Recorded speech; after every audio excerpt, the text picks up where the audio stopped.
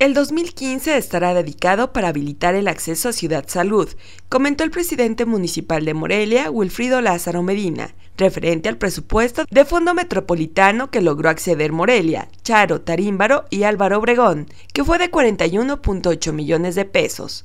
Comentó que junto con el presidente de Charo se han ocupado en crear proyectos para mejorar las vialidades y con ello favorecer la dinámica entre Morelia y Charo, para lo cual se le asignarán en este año 13.5 millones de pesos. Asimismo, se cerrará la obra de la Óscar Chávez, arteria que une a Morelia con Tarímbaro, misma que ha tenido en tres años fondos metropolitanos. El año pasado, 32.4 millones de pesos, y en total se han gastado del fondo 75 millones de pesos.